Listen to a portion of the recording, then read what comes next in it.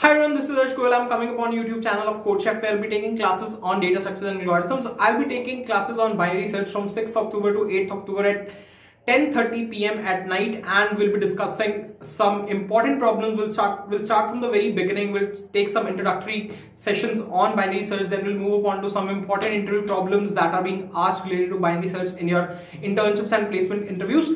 So don't forget to check this out and mark your calendars for binary search sessions from 6 to 8 October. See you soon.